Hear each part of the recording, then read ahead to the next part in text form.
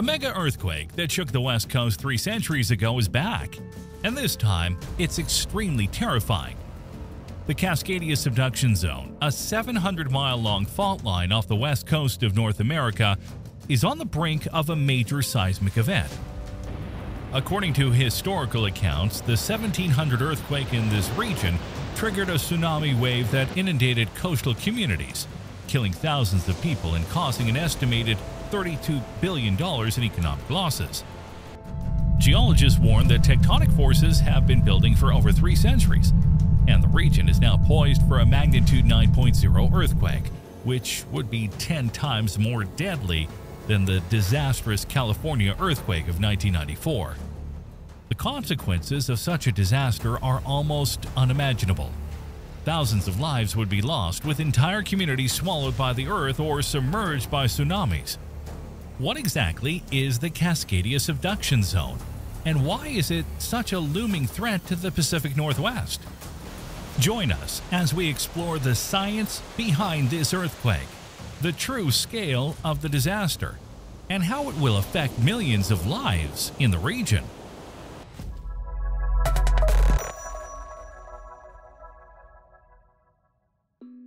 On October 17, 1989, baseball fans gathered around their TVs, eager to witness the thrilling matchup between the Oakland Athletics and the San Francisco Giants in Game 3 of the World Series at Candlestick Park. But just 30 minutes before the first pitch, the earth beneath their feet began to rumble. The television feed flickered, then went dark, plunging viewers into an eerie silence. When the broadcast resumed, the announcers' faces were etched with shock and fear, their voices trembling as they struggled to process the chaos unfolding before their eyes. The Bay Area was in the grip of a monstrous earthquake, its magnitude a staggering 6.9 on the Richter scale. Geologists would later pinpoint the epicenter in the Santa Cruz Mountains near Loma Prieta Peak, some 60 miles from San Francisco. As the quake struck, the once sturdy walls and buildings crumbled, sending rubble crashing to the ground. Flames erupted from the debris, casting a hellish glow over the devastated landscape. The Cypress Street Viaduct on the Nimitz Freeway in Oakland became a scene of unspeakable horror as the upper level of the road collapsed, crushing cars and their occupants beneath its concrete crush. The students of UC Santa Cruz were seen running for their lives, the death toll would eventually rise to over 63, with 3,707 more injured. The earthquake, later dubbed the World Series earthquake, was the first big seismic event to be broadcast live on television in the United States, making a lasting mark on the country's psyche. Despite being one of the most powerful and destructive earthquakes ever to hit a populated area of the United States, the death toll could have been much worse.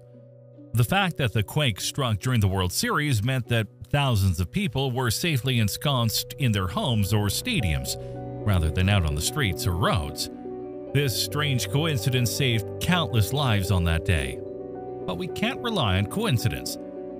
To put it in perspective, the Loma Prieta earthquake in 1989 had a magnitude of 6.9, and the latest estimate of the impending Cascadia megaquake using our most advanced monitoring technique is between 7.1 and 9.0 magnitude. A quake of this magnitude could unleash a maelstrom of destruction, with the potential to level cities, inundate coastal towns with towering tsunamis, and leave millions without power, water, or shelter. Experts say the Loma Prieta earthquake was a wake-up call, but it appears that too many people have fallen back asleep. Keep watching as we explore the Cascadia subduction zone, where centuries of pressure are building towards the largest earthquake in modern history, and the potential impact on the United States and the world as a whole. But to begin, let's first introduce some important context. The United States is situated in a seismically active region as it borders the Pacific, North American, and Caribbean tectonic plates creating an environment in which the grinding, shifting, and colliding of massive rock and earth can lead to devastating earthquakes. From the infamous San Andreas Fault in the west to the New Madrid seismic zone in the heartland and the monstrous Cascadia subduction zone in the Pacific Northwest, the United States is overlapped by a network of active fault lines that have the power to reshape the landscape in a matter of seconds. Of the numerous fault lines crisscrossing the U.S., the Cascadia subduction zone is among the most underrated and potentially devastating. The Cascadia subduction zone is a convergent tectonic plate boundary located off the west coast of North America, stretching from northern California to British Columbia. This geologically active region is the result of the Juan de Fuca and Explorer plates subducting or sliding beneath the North American plate. The Cascadia subduction zone is capable of generating massive mega-thrust earthquakes, which are among the most powerful seismic events on Earth. The tectonic setting of the Cascadia subduction zone is complex, with several interacting fault systems. In addition to the primary subduction interference, there are a number of related strike slip and normal faults in the region. The offshore Cascadia fault zone, where the oceanic plates are being pushed under the continental North American plate, extends for approximately 1,000 kilometers or 620 miles along the Pacific Northwest coast. Cascadia's earthquakes are caused by the gradual sliding of the Juan de Fuca and Explorer plates beneath the North American plate, resulting in significant seismic strain over centuries. Eventually, the frictional forces holding the plates together are overcome, and the plates suddenly slip, releasing this buildup energy in the form of a massive megathrust earthquake. These events can reach magnitudes of 9.0 or greater on the moment magnitude scale, making them some of the largest earthquakes in the world. In addition to the Cascadia subduction zone, the Pacific Northwest is home to several other major fault systems that contribute to the region's seismic risk.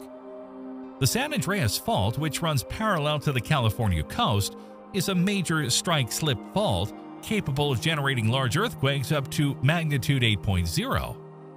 Further inland, the Basin and Range Province is characterized by a network of normal faults, formed by the stretching and thinning of the Earth's crust in this tectonically active area. The seismic activity in the Cascadia region is closely monitored by a network of seismometers and GPS stations, which provide valuable data for understanding the region's complex geology and earthquake potential. Scientists have been able to identify a pattern of major Cascadia subduction zone earthquakes occurring roughly every 300 to 600 years, based on geological evidence such as tsunami deposits and coastal subsidence. In the centuries since the last known megathrust earthquake, the Cascadia subduction zone has continued to accumulate tectonic strain, raising concerns about the potential for another massive seismic event in the near future. Scientists estimate that the region has a 37% chance of experiencing a magnitude 7.1 or greater earthquake in the coming years. Such an event would have devastating consequences with strong shaking, ground deformation, and the potential for a large tsunami that could impact coastal communities throughout the Pacific Northwest. The Cascadia subduction zone and its accompanying fault systems represent a severe seismic hazard to the region, as demonstrated by the region's previous earthquakes. But if you doubt, let's travel back in time to the last megathrust earthquake in the region. Before we continue, make sure to hit the subscribe button and click the notification bell to stay updated with our future videos.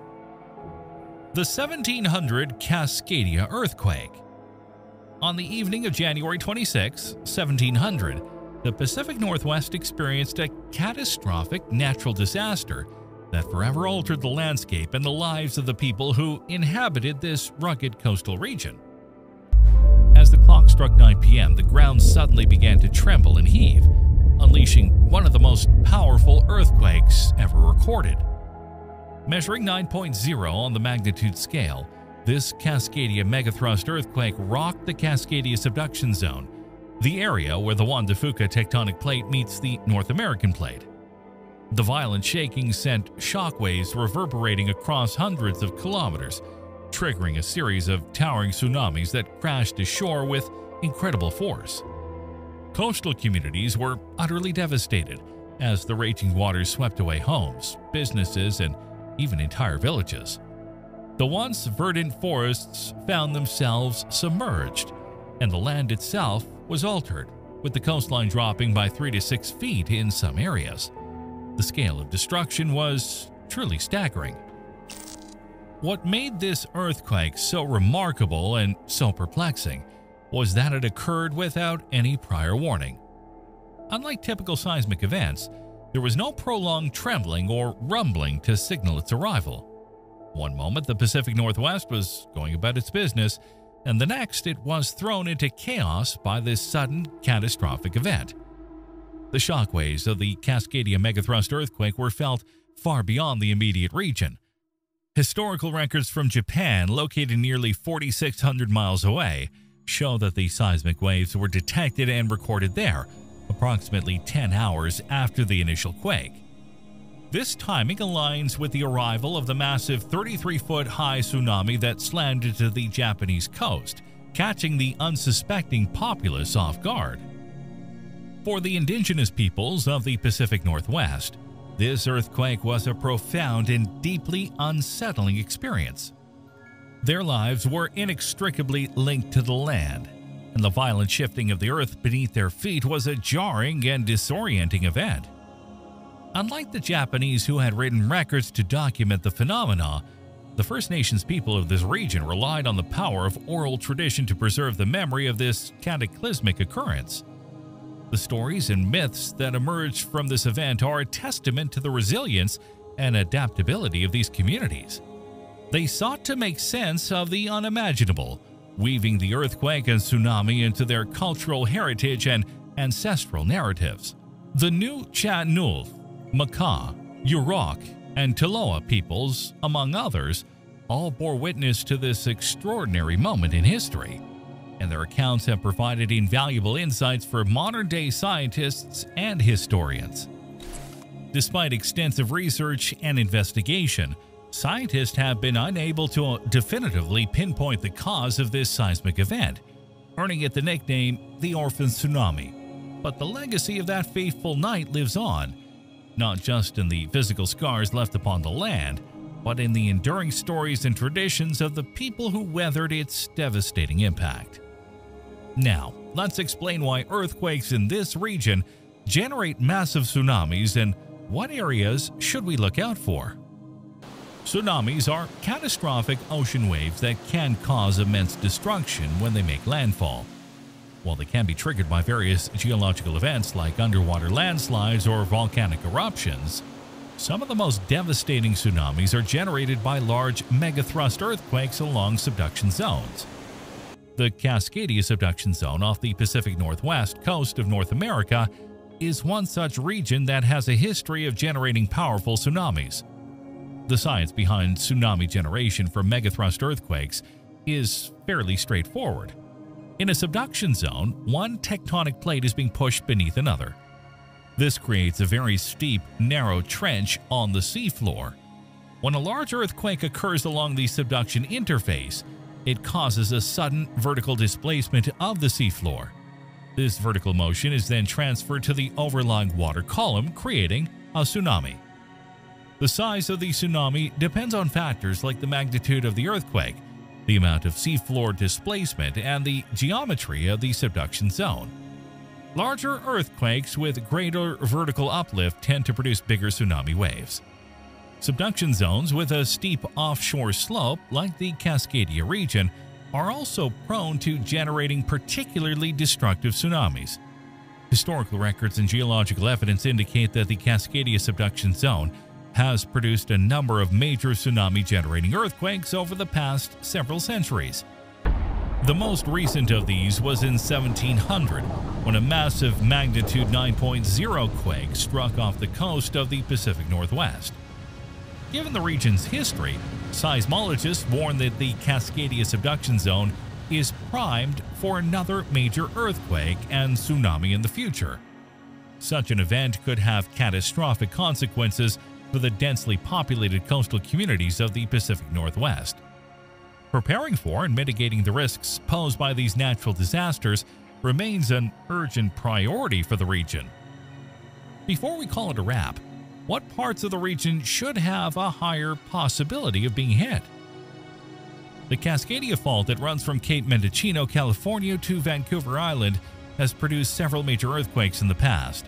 Most notable are the magnitude 9.0 Cascadia earthquake in 1700 and the magnitude 8.7 to 9.2 earthquake around 1700 BCE. However, not every part of the fault is similarly active. The core zone is relatively peaceful and almost devoid of seismic activity. The central zone is relatively calm with minimal seismic activity. It's the northern and southern sections that are constantly stirring, like two rival forces vying for attention. This strange dynamic is both fascinating and reassuring. It means that faults don't always rupture simultaneously, and that's a comforting thought. So what's the most likely scenario for the next big Cascadia earthquake? Experts predict that only the southern region centered around Northern California will awaken first. If that happens, the resulting quake would register a magnitude of around 8.0 or 8.6 on the Richter scale. Significant but not catastrophic. But there's another possibility, one that's far more threatening. What if the entire Cascadia Fault were to rupture, unleashing a megaquake with a magnitude of 9.2? The consequences would be staggering. Such an event would be approximately 30 times more powerful than anything the San Andreas Fault could muster, making it the largest earthquake in U.S. history and the second largest ever recorded worldwide. Do you think the next Cascadia earthquake will happen anytime soon? Is there a region you think is more prone to a more urgent earthquake? Share your opinion in the comments below click on the next video that pops up on your screen.